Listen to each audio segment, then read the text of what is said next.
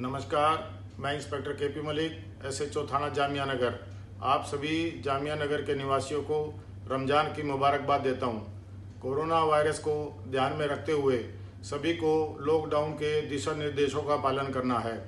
हमें घर पर रहकर ही नमाज़ और तरावी अदा करनी है सोशल डिस्टेंसिंग का पालन करना है।